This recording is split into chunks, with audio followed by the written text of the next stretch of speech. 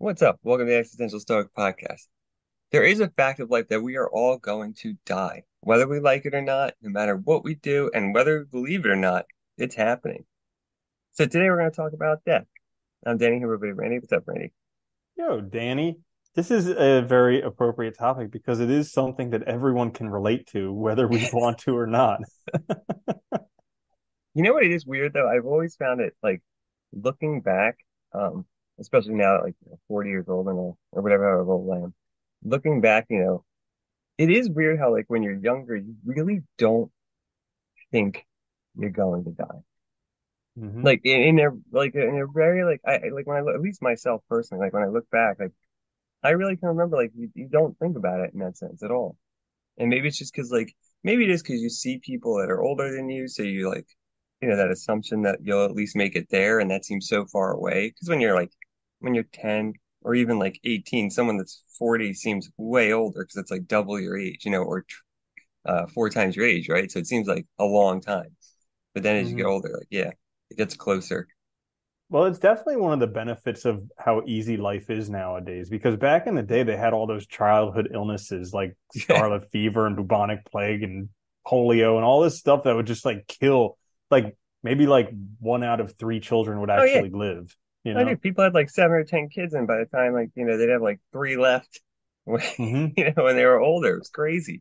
And yeah. like you know, yeah, I think people were a lot more aware of it too, and probably comfortable. We're not comfortable like accepting of death because it was so regular occurrence, and you know, and you also had like a town cemetery, so you would you know you could literally go walk and visit people when they you know on their anniversaries and stuff like easily. Whereas now, like you know, people are sometimes shipped, you know, to a different state or country when they die. You know, it's interesting how we handle it now.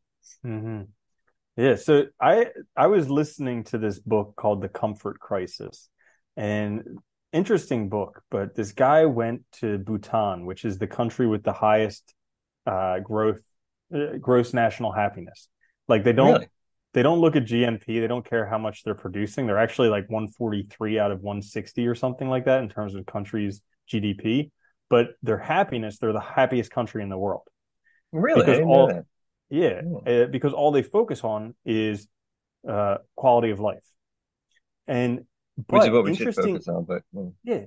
Interestingly enough, so they're a Buddhist country and their life is very centered around death. Like all over on the roads and everything, they have these pyramids that are like little like reminders of death. Uh, the people are reminded to think three times every day about their own death, like at morning, afternoon, and night. And uh, because they in in the book he had it said like I, th- I think he was talking with a monk or something like that there, and the monk was saying, you know, imagine you're walking down a mountain trail, and at the end of this trail is a cliff that just drops right off. Okay, that cliff is your death. We're all walking there like that's where we're all headed. You have no choice. But what you do have a choice is uh, is how you get there. Are you going to take a more scenic route? Are you going to just maybe you can't take a scenic route? Are you going to just enjoy the route you're on while you go there? Or are you just going to close your eyes and keep walking and then eventually get there? But I was listening to that and I was like, yeah, we should definitely talk a bit more about death because it's something that people very rarely talk about. And uh, it, I mean, it's it's so crazy because I can remember all the funerals that I've gone to where it's like very uncomfortable with everybody there. No one really wants to talk about it, you know, especially if it's like an open casket. Nobody really wants to go look, and then yeah. uh, you don't know how to like help the grieving family or what to say to them. It's just very awkward situation. And people are just like, "How soon can I get out of here? Let's go eat. Let's get do something else." So yeah, it's a very uncomfortable situation in America. Let's continue to distract ourselves from it and pretend like it doesn't happen. Yeah. yeah. You know, it is funny though, because I think that is a, like that makes sense if you if you have a whole country where you're reminded to think of it three times a day too, you're living your life with that in mind.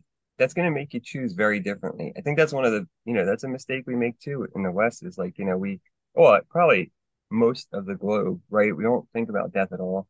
We don't accept it.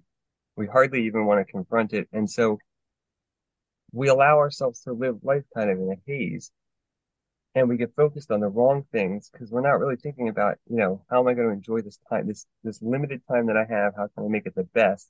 we're thinking about other metrics that have nothing to do with that. You know, how can I have the most? Or how can I be the quick, you know, whatever, like these things that don't matter ultimately in the end that you can't take with you. You can't take any of that stuff with you. So it's like, yeah, I mean, that makes a lot of sense. Mm-hmm. Yeah, and it's like it's crazy because we have this like the same way that we chase money, how we think like, oh, if I have more money, then I'll be happier.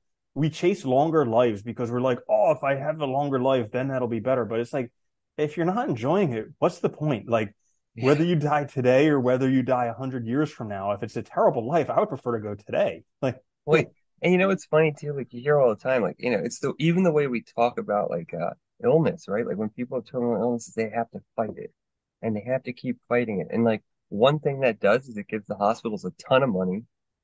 It does not, I mean, and, and you know, statistically, it does not increase quality of life because, you know, there's plenty of people where, you know, in their 70s, they're getting chemo. It makes the rest of their life worse and they still die. It doesn't like mm-hmm. make it any better. But, you know, somebody makes a lot of money off of it. But, you know, that idea of fighting it, constantly fighting it, you know, constantly trying to find ways around it, it's like we're so against even like approaching the subject that like it has to be something we're constantly pushing back against, you know, or we're losing. I don't know. It's really weird. Yeah, I'm glad you brought that up. Uh, there was a book that I just finished called, uh, I forget the name of it. I'll come back to that one. But there's another book by Atul Gawande.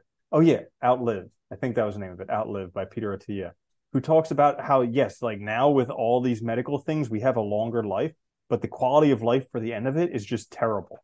It's because yeah. we didn't take care of ourselves the whole time until we got to the breaking point, and then we just have a longer life, but it sucks. So there's no point in, I mean, to me at least, there's no point in really extending that. And then Atul Gawande has a book talking about end of life care, how like all these things that we do at the end of life don't make our quality of life any nope. better. Yeah, no. if people just have if they if they're able to spend time with loved ones, if they get some pain medication and just have hospice care, like that's way better than all these experimental treatments and life extensions that just make them in pain for a, a lot longer. And stuck in the hospital usually for a long period yeah. of time. Yeah, it's crazy actually when you think about it. But you know, it's it's how it's sold to us, right? Because throughout your life, whenever you have a problem, they, t- they tell you to take the easy way. Here, take this pill instead of doing things like like exercising or like focusing on mental health. And then you get to the I end, and that's all you know how to do, right? It's I know it's crazy. It's crazy because like you know, no doctor will say, you know, there's actually something out there that's better than any pill you could find. It's called exercise. And people are like, nah, fuck, nah, forget that. But it's like, yeah, like pills may make things marginally a little bit better until you get addicted to them or whatever the, the consequences of them are. But exercise is better than pretty much anything else you can do. Yeah. And like, you know, well, you know, it's funny because like I've been thinking about that a lot too now. It's like, you know, as we get older, you know, you want to stay in shape because like they've already shown like exercise can increase your uh new new neuron growth and stuff. It obviously makes you, you know, healthier long term. You can more flexibility and stuff. It's just better, right? And like, but you got to start early. You can't start super late because you don't have anything, any foundation there to help you. So it's like, yeah. Mm-hmm. We are yeah. sold very bad messages, I think, on death, and nobody really mm-hmm. talks about it at all. Yeah. Like basically whatever you can do now physically is the best you're ever going to be unless you're putting in a lot of effort to get better. That's that's yeah. the frightening thing that nobody tells you. Yeah, it is kind of true. And it doesn't take that much either. You know, that's the funny thing. It only takes, I mean, at most like, you know, half an hour, hour a day, you're good. You know, that that's a lot better than nothing. And I mm-hmm. think gotta look at it that way too.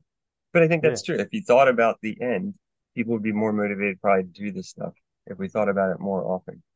Well, talking about thinking about the end, I thought that it would be fun if we talked about how we'd like to die, what we want our funerals to be like, what we're scared of with death, how to prepare for death, those types of things. Get personal. Okay. You know, how often do people right. talk about this personal stuff? Let's talk about it. Yeah. Do you I know how say. you would so like oh. obviously obviously, I mean the chances of you actually dying how you want to die is whatever. But if you could oh, die, literally like, how I want to yeah, die. like if you could, if you could choose, like if you had your like luxury death vacation destination, what would that be? I guess you know. I mean, if I had to choose, I guess I would. I would prefer if it was like you know, not. I mean, like you know, relatively peaceful. I guess. I never really thought about how the literal how. I always assumed that would just happen. You know. Mm.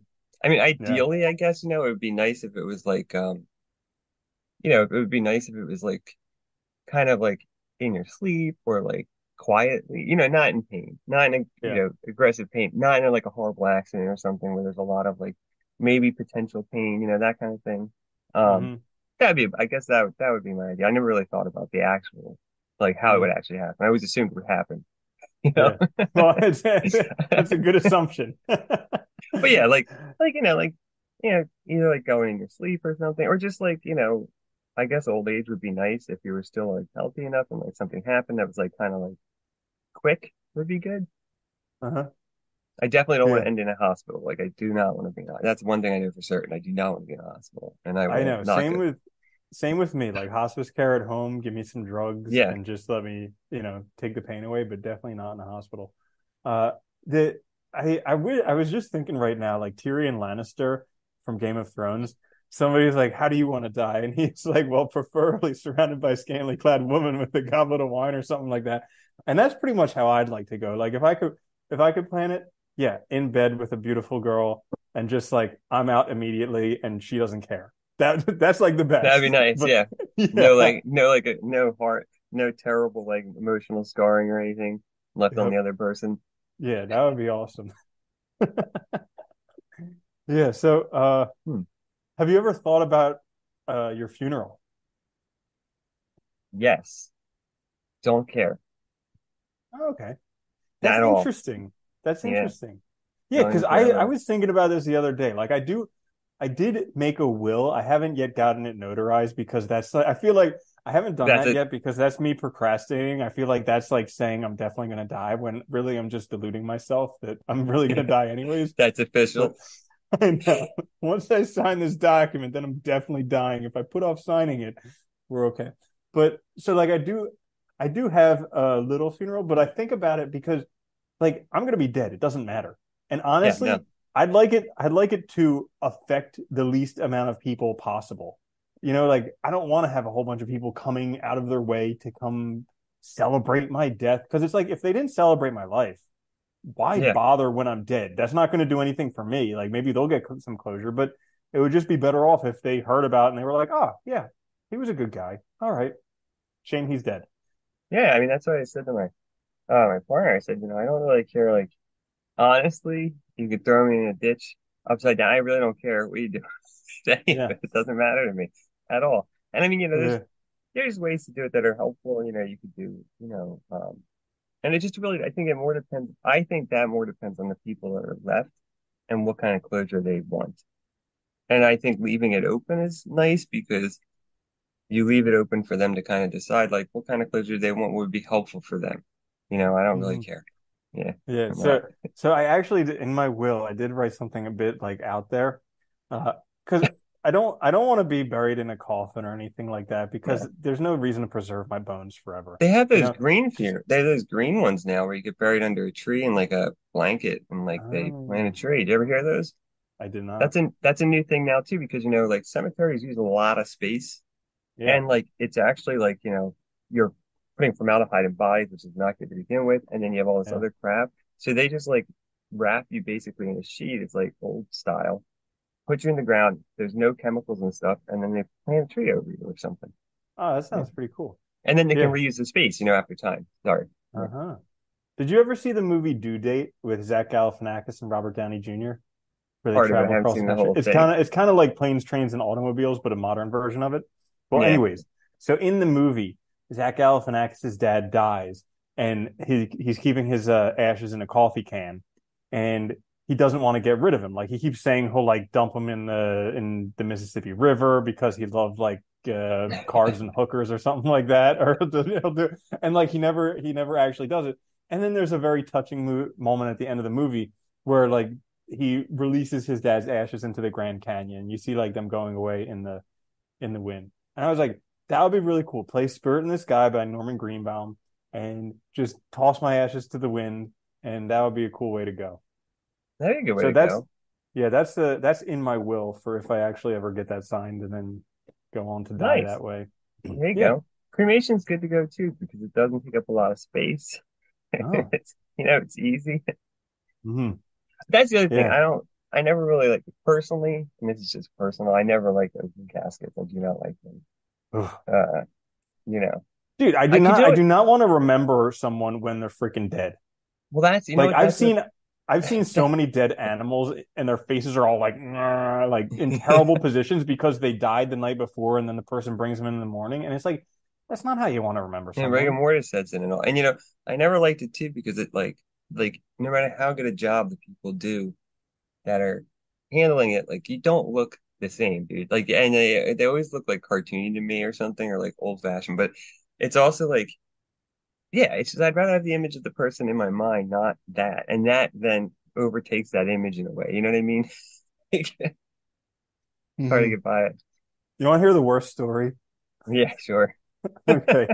So one like Saturday or Sunday morning, I went into the clinic that I was the vet clinic that I was working at, and I was like, "Who brought barbecue?" And dude, freaking terrible. These pets got caught in a house fire, Oh but God, it literally really? it literally smelled like barbecue in the uh in the clinic. That was terrible. That sucks. That's horrible. Yeah, freaking Yeah, terrible. see, that's hard to deal with, man. That's a lot. Yeah. Mhm. Yeah, death is death sucks and like oh my gosh. Yeah, dealing with it sucked uh as as Well, that's the other. Well, that's the thing about the modern world, right? It's like, you know, if you go back back in the day, you know, your pets died, you had to deal with it. I remember when I was younger, we Your family died, you had to deal Yeah. with it. There was no Well, what I mean. hospital. You were taking Yeah. care of them until they died. I literally, yeah, I was gonna say that too. Like, you know, we were so close to it because it was a part of like everyday life. We had to handle it. Like, there might be somebody in town to call for like an emergency, but they, they're not gonna do anything for that. You buried them, you took care of everything. Same with your pets. And like now, there's there's somebody you go to. There's services. There's like you know where you just take it, you take it, and you kind of forget about it. So you're always removed from it. Just like you know, in the same way that we're removed from like you know, we go to the grocery store to buy meat. You don't see the cow you see everything prepackaged. It's like you can totally disassociate it from the animal. You know what I mean? And Yeah. it's like I think that's very strange that we've done that, but we've it's made things easier, but at the same time, it's made us, I think, very uh, naive about the reality of life, right? mm-hmm. Yeah, it's it it's interesting. That was mentioned in the book, uh, the uh, the comfort crisis. How you know a lot of people have something against hunting, and uh, you know, I'll be honest, I have a very strong thing against killing other creatures because I had to do it Yeah. a shitload, and I don't like doing it. But it And turns people are out, asking you to do it. well, it turns out that like Okay.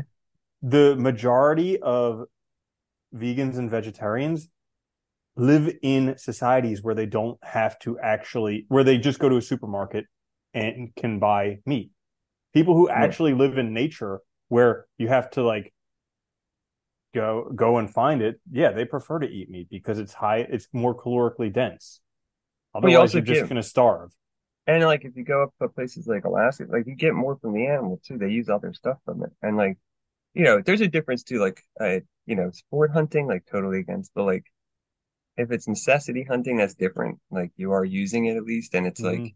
you know, that's the same as like raising something on your own, I guess, and then eating it. But yeah, yeah, yeah, we're so far removed from it. It's crazy. It is really interesting. Really weird. hmm so anything that scares you about death I aside I from it- dying I guess mostly like the uh you know the physicality of it, right? Like the the what you might go through or what actually scares me the most is the potential for not necessarily dying but the deterioration beforehand. Because I think one of my biggest fears is two of my biggest fears are losing my mind. So, you know, bad dementia, something like that, um, or being in a coma. Because I have really bad, uh, I've had my whole life really bad um, sleep paralysis, which I Mm. get often. Um, hmm and that has made me so afraid of a coma because if it's, yeah um, you know, terrified it would be like that, which is like Yeah. horrible. So yeah, yeah yeah, I don't want to, Do you think that. if you're in a coma, do you think you realize it or no? I don't know, but I realize it when I have sleep paralysis. So that's what is makes me Ah. afraid of a coma, if that makes sense. Yeah, yeah, definitely. Yeah, that would suck if you were in a coma and you knew about it, you Yeah. know? And you're Yeah. like, let me, you're like a mime trying to get out of the box. Well, that's what it feels like when you have sleep paralysis. You you you're paralyzed, but you also hallucinate. So it's like really weird, and you Uh-huh. you feel trapped. Sometimes it's like Yeah. you know, somebody held down or something or tied. You know, there's all kinds of weird things that happen. But yeah, it's it's crazy. Mhm. It sucks. Yeah, so Yeah. that does scare me too.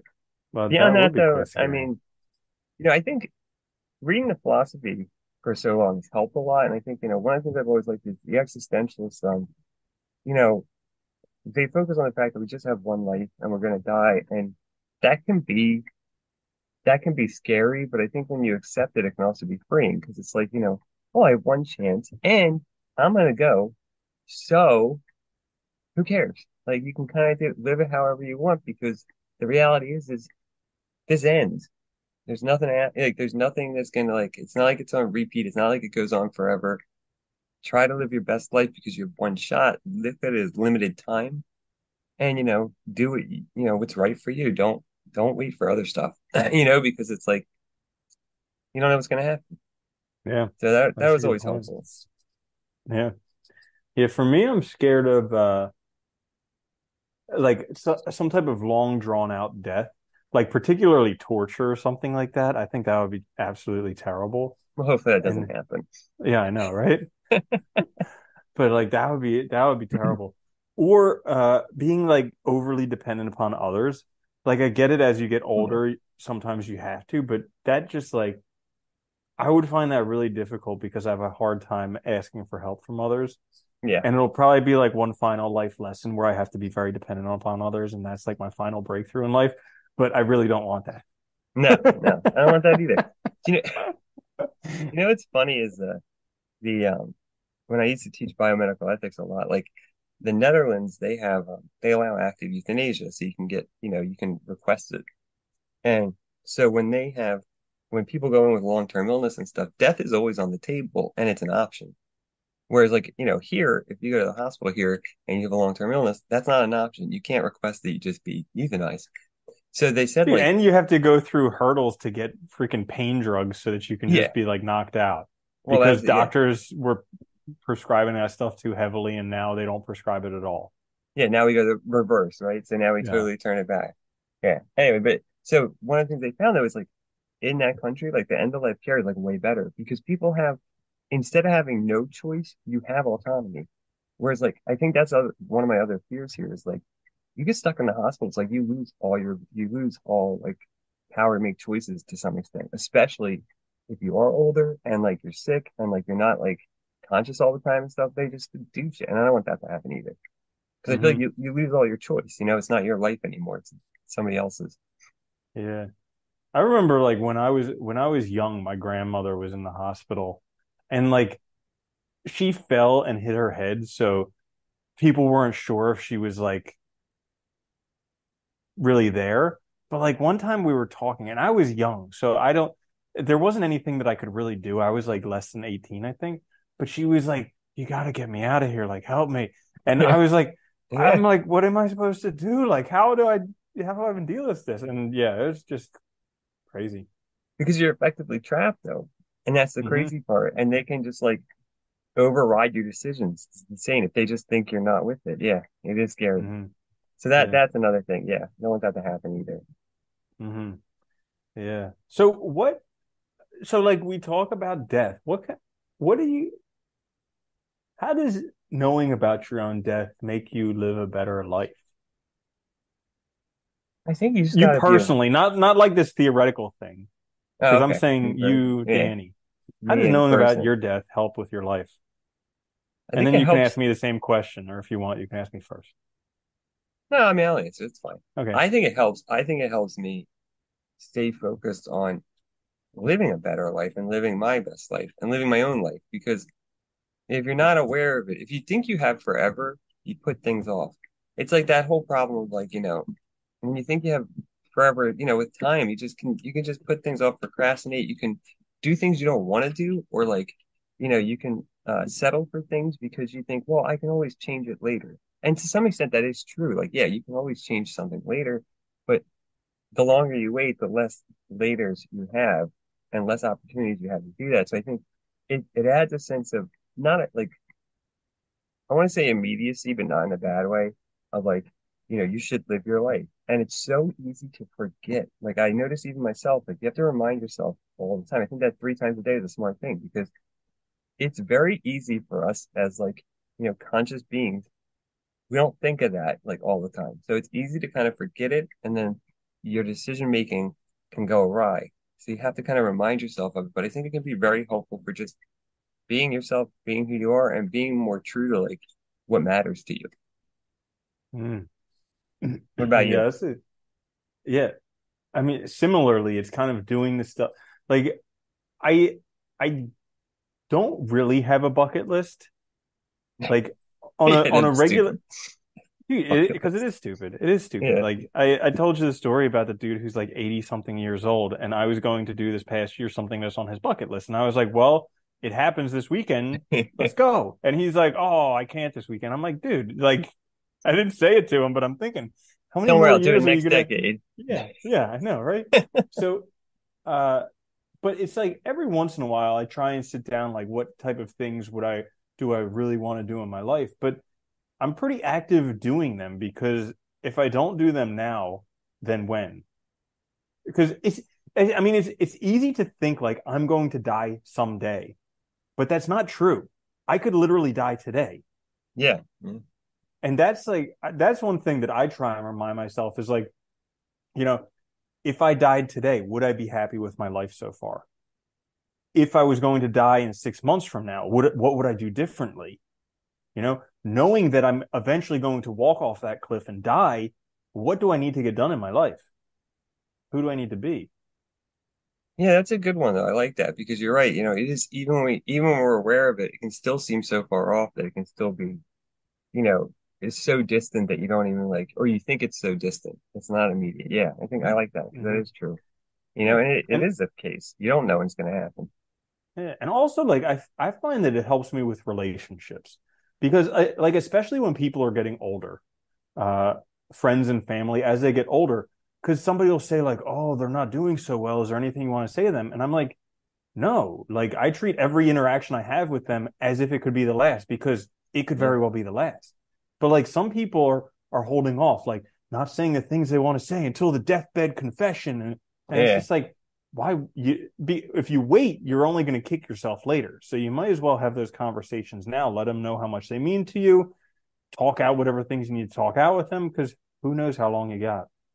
No, that's true, right? And I think that's also another thing that gets in the way of so many of our interpersonal relationships and stuff is this this semblance of time and I'll deal with it later because things are hard and we don't want to deal with them. So we push them off. And I think it makes things more pressing and more important to do now. And it makes you more, I think maybe that's it too. It makes you more present because if it can happen at any moment, you kind of have to be more conscious of what you're doing and aware when you're doing it rather than wasting time. You know? Mm-hmm. It is hard. It's mm-hmm. like, you know, we all want to live a good life, but there's no like there's no like you know guidebook for how to do that and i think it's different for everybody so you have to kind of be aware that your life has you know it's not forever and you don't have infinite time because then you make the right choices hopefully or at least you're motivated to make them yeah. right yeah okay i got i got a question maybe a difficult question to answer but if you were to die in a week mm-hmm. what would you do this week that would be like freaking awesome Dynamite. Huh. Something that would just be like, ah, yes. I I know what mine is. I'll I'll just say it because while you're well, thinking, I so like I, I I say this because mine is kind of like pretty lame. Like other people other people might be like, oh, I'd go travel to Paris or like I'd go hike the mount. I'd I'd have a giant freaking pizza and a big thing of ice cream, and that would be that would be it. That would be like, all right, and like cheese puffs and uh, goldfish, and that would be an iced tea. Yeah, I would just I would just pig out. Why not? Right. Until I yeah. felt sick, and then that would be it, and I'd be like, okay, kill me now. Yeah, I don't know. I don't know. I would change that much. I guess I wouldn't go to work, and I would, uh, you know, I would like to go. Oh, probably well. Yeah. Maybe like I'd like to go to maybe I don't know somewhere maybe like Alaska or something would be cool, but like mm. you know something like that. I don't know. I don't know that I would go anywhere though. I probably would. You know, yeah. I don't know. Probably hang out with people. It's tough. It is hard to say, but I think that's a good. That is a good like thinking like that is a good way to find out like things you want to do or things you're not doing now. I feel like I'm doing hmm a lot of things I wanted to do now, so it's good. I feel, but I think this is the point, right? If you think about it more, get to a point where you're doing things that you want to do, and your life is gen like you have a better mentality about life overall. hmm You know, it's it's funny too because like I just was reading this thing on, uh, I think it's MIT. They they found out how to like reverse mice's age. Literally, they can like hmm click. Uh, uh, God knows what it does to the psychology of the mice, but they found out they can like literally reverse their age like by half. And like, you know, they're talking about this now, and gonna I'm be like, like Benjamin Button mice. yeah. But then like, and apparently like it's as far as I've I read and what they understand, like it doesn't cause any like major problems that they know of yet or anything. But like they've had this mouse living like way longer than it should be alive, which who knows what that does. But like, you know, this whole idea of like fighting it, but like, do we even want that? Do you want a world of people that don't go? I mean, it's already overcrowded. Like, it's kind of funny when you think about it, but like what good does that do us? You know, like in some sense, and if it lasts forever, you know, do you have any reason to live? hmm You know, at a certain Yeah. point. Yeah. I remember I, I heard this quote the other day that like a rose would be the most annoying weed if it didn't die because it's got all those thorns and stuff. Like, sure, it smells great and it looks pretty, but it's got all those thorns. And if it never dies, you're just going to have these thorn bushes all over the place. So, like, it's the same thing with people. Could you even imagine if people didn't die? My goodness. No. And like, Mhm. you know, I could imagine like if like, you know, if you're trying to, I don't know, like, uh, cause I, I, or, you know, somebody was talking about space travel and they're saying like, you know, if we really wanted to travel in space, we need to genetically engineer people, right? So that they could handle it in long term. And like, that might be something you use for that case, right? Where you had to go somewhere far or something. But like, otherwise, and who knows about psychology? I mean, that's that aside, it might make you totally crazy doing that Mhm. to yourself. Oh my gosh. Yeah, totally. But that's like another thing of constantly trying to fight it rather than just facing the fact that it's part of it. That we're Everything else does. Yeah. What's that? I mean, how, like, you have to wonder how good are some people's lives that they want to live forever? Like, Yeah. could it possibly be that good? They don't have any problems. I mean, aside aside from freaking Matthew McConaughey, like, whose life is that good that they want to live forever? He had one hard year. I know, right? Yeah, that's the other thing, right? It's like, I don't know. It's funny, like, isn't it? I think that's always part of what makes it so valuable is that it's not forever. It is short. And it can be hard because it can be, you know, in some some cases it can be really short and that's a shame, but like, yeah, I think that should give us motivation to do our best. No, here's here's an interesting thing that was in that book, The Comfort Crisis, is kind of eye opening as to how how impactful our lives are. So if you if you plot using the calendar year, the whole entire history of the universe, all Okay. right. So In one year. yeah, in one year, humans do not come in until December 31st at 12:59 and 33 seconds. That's all of humanity. like It's like 37 seconds. Or no, yeah. 27 seconds. Yeah, that's all Yeah. of humanity Yeah. in the course of the universe. So, like, thinking that you matter and that your life is great, you're just kind of deceiving yourself. Well, that's the other thing too. I think that thinking about death can be very helpful because it also makes you not take stuff so seriously and gives you perspective on what really matters. You know, like, does this stuff matter? No, because, you know, can't take it with you. It's all going to be gone. And chances are, even if you are remembered, you don't know it. So it doesn't matter. Like, you know, mm-hmm. like, Yeah. And, and most of that's like a, a happenstance of like a lot of, cir- you know, it's, it's circumstantial and, you know, has nothing to do with what you did usually. It's just, it is what it is, right? You hmm know, if you look at a lot of ancient authors, a lot of them we know about just because their stuff survived, you know, for whatever Right. reason. It, you know, it might not be that they were the best. It might be that they just happened to, their stuff happened to, you know, exist now or is it still extant, you know? mm-hmm. Yeah. Yeah. Yeah. So that's uh that's pretty much all I had to say about death. Anything else you have to say about death? I think you should think about it. Yeah. It's a good thing to think about. It does make Be aware. sense. Yeah. Yeah.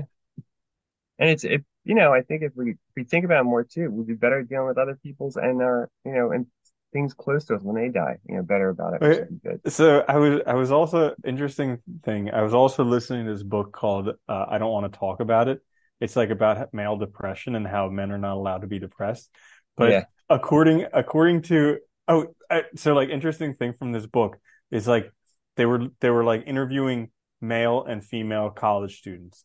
And when the female students admitted to their roommate that they were depressed, they got a whole bunch of compassion and like their you know they, their community got closer when male college students admitted to their roommate that they were depressed they got ostracized so like Get out of here. i know get out of here but uh so like they were talking about how like male uh depression is very underdiagnosed because it's not generally what what you see we're not allowed to do it all that different stuff but one of the one of the four things that needs to be done in the DSM-4 in order to be considered depression is thinking about death on a regular basis for like a 2 week period and I'm like but hang on like that's also how you can have a really good life That's funny. Yeah. Wait, so like, do they mean thinking about like death in the sense of like ending it or like just death? I think probably like death and suicide and ending it Oh, but okay, I was also thinking because it's also very helpful to think about death in Yeah, terms of yeah. like it's going to happen so how do I make the best of my life Oh, and those are two different, very different ways of thinking about it too, you know? yeah Like it, there's mm-hmm. a big difference between thinking about wanting it to end versus the recognition that it will happen. You know, I mean, that's mm-hmm. a big difference. And I think, you know, making that distinction is important too. Yeah. There's also a big difference between wanting to die and not wanting to live. Like Yeah. sometimes whatever you're going through in life is just too painful and you don't feel like living. Like that happens all the freaking time. Yeah, But is, if the life. pain was removed, you'd probably want to live. Yeah. Whereas like that's totally different from wanting to die actively. Yeah. Yeah, So- yeah. There you have it. Right. There you have it. That's death. That is death. So there you have it. That's death. Uh, thanks for listening. Check us out on YouTube or wherever you get your podcast. I'm gonna let you do the thing about the thing. Go ahead. And if you guys have a few minutes, we have a questionnaire mm-hmm. down below. We're looking to develop something that's going to help you have the best year of your life. If you would give us a couple minutes of your input, when we do have it created, you will get it for absolutely free. So there's a link down in the show notes or the description. Take a couple minutes, help us out there. Oh, that was a lot better. Also, yeah. Uh, Please like, share, subscribe. It helps us out a lot. We'll be back later this week with a quick fix. Until then, no. Later. Later, Danny.